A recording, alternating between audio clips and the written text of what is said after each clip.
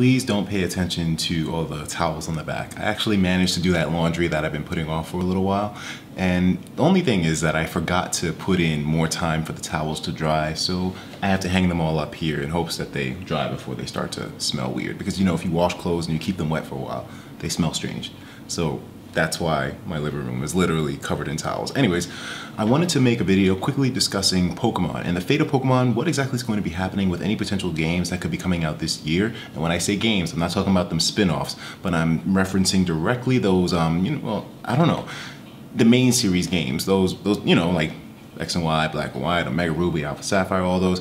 Now, we didn't get an announcement for a new game like that coming out this year. And the thing that's odd about this is that it's kind of been a trend for Game Freak for the past, what, three, four years?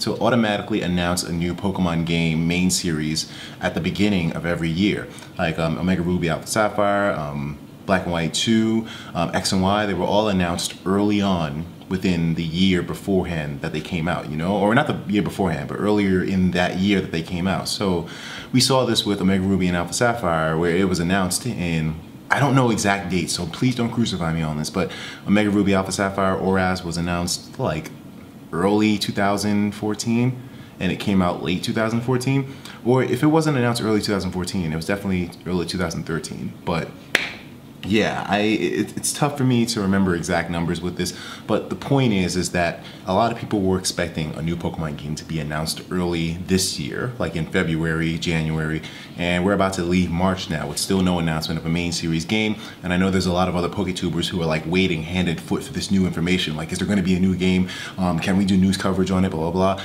And I definitely would be one of them. Now I know some of you guys were like, you know, why do you even care about Pokemon anymore? You kind of stopped caring, and it wasn't exactly me stop caring, but rather I just couldn't get with ORAS. I mean, it was a remake, sure, but I didn't really even like Ruby and Sapphire that much as games. I mean, I like them, but you know, I wasn't as hyped for ORAS as I was like Heart Gold, Soul Silver. But still, that that wasn't the main reason. The main reason was that I kind of got tired with the Pokemon series babying you. You know, I mean, like in the one-player campaign mode, campaign, it, it basically just holds your hand and guides you through and babies you so much. Even though Pokemon's like what the third most popular gaming franchise on the planet, they still feel the need to baby people because you know they attract a younger audience and whatnot.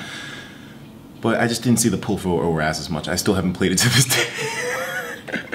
I still haven't played it to this day. But I mean, who knows? Now that I have time, maybe I'll do a little, you know, a small little let's play of it. But I mean, small. Like I'm only showing everything. But I mean, still.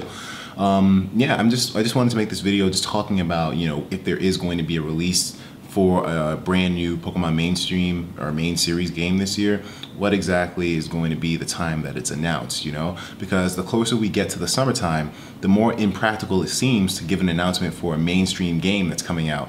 I keep saying mainstream, a main series game that's coming out, you know?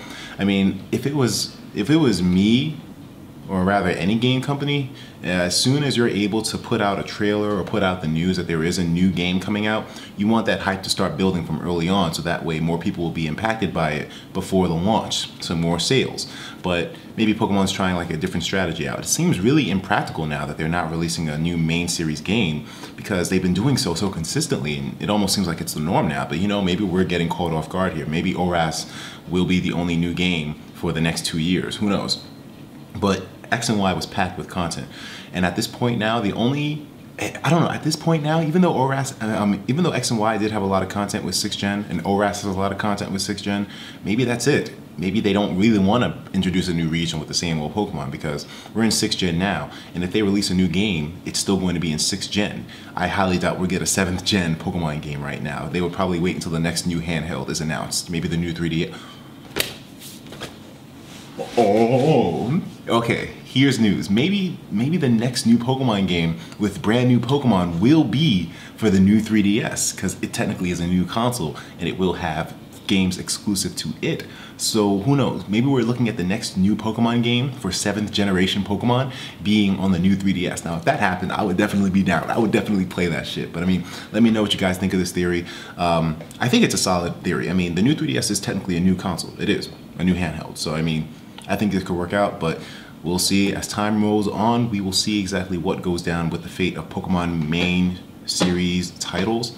Um, hey, either way, I'll be covering it as soon as any information is out, so definitely stay locked into your boy. I'll talk to you in the next one. Take care of yourselves, and of course, as usual, please have yourself a damn good one.